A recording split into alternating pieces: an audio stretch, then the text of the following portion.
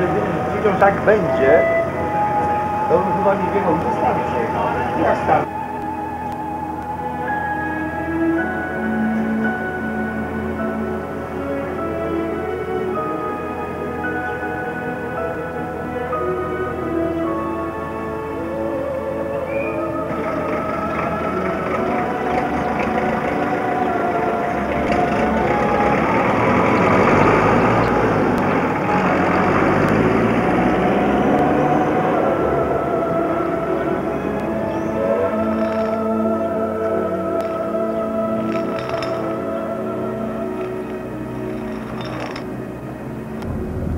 rather than traffic generation.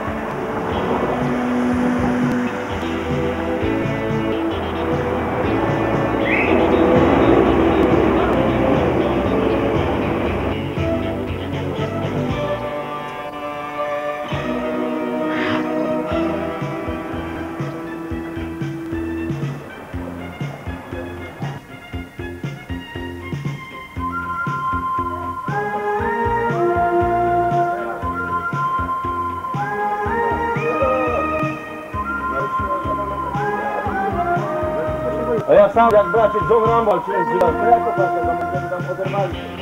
Nie? Kurwa, trener Romek dzisiaj nie pojedzie.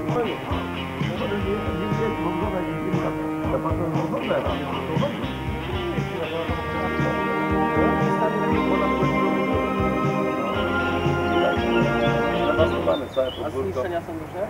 Oprócz, Oprócz tej ziemi? oprócz tej ziemi to takiej raczej nie mam. Tam mam trochę biura zalane, nie? Prowadzę firmę kamieniarską i cała piwnica powstała. Także są straty jakieś są. Samochody nie, nie zniszczyło? No samochody raczej nie zniszczyło, aczkolwiek ten samochód jeszcze tam stoi w tej stodole, to nie wiem jak on tam wygląda. Tak to wygląda.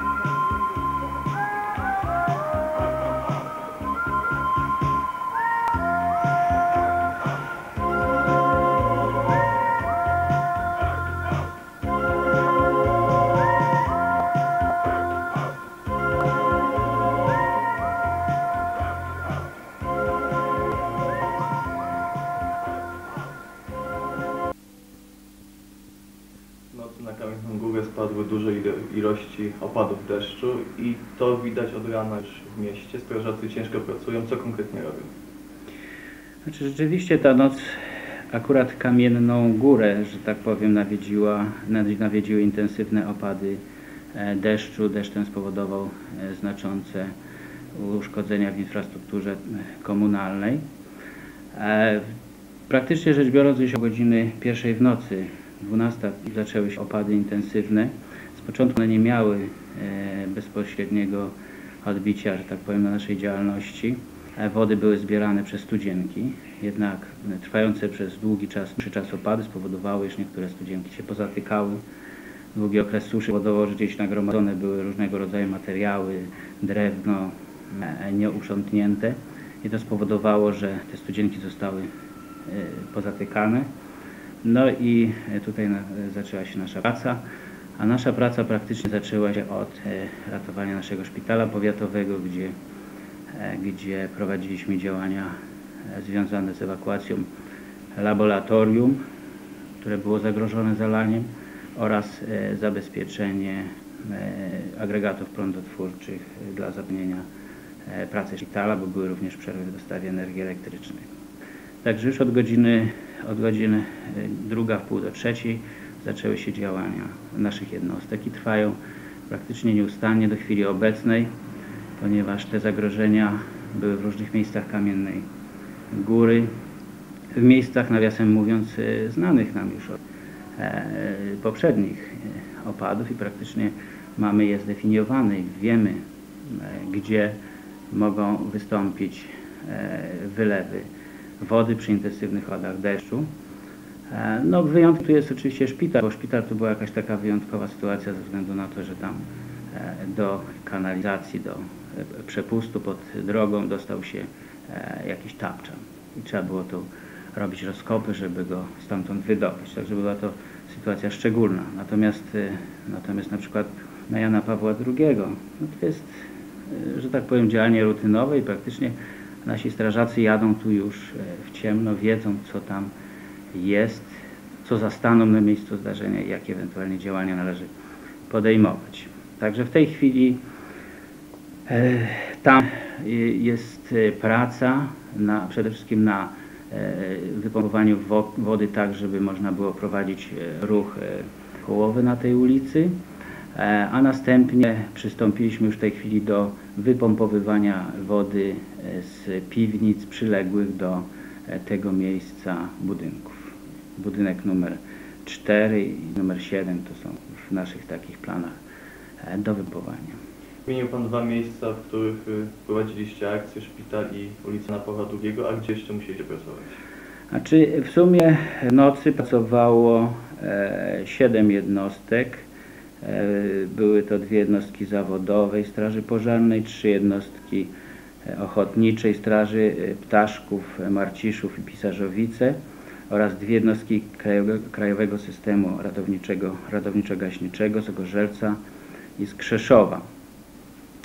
E, I tak, w Raszowie drzewo nam się zwaliło około godziny 2.20 e, oraz e, pompowania wody tam też były z pomieszczeń piwniczych. E, Ta ulewa, która nad Kamienną Górą przeszła, sięgnęła również Pisarzowic i OSP w Pisarzowicach prowadziło działania wypompowywania e, wody w szkole podstawowej i w budynku mieszkalnym. O godzinie 6.30 e, w Dębrzniku złamane zostało drzewo przez e, silny wiatr i tam również to drzewo było usywane.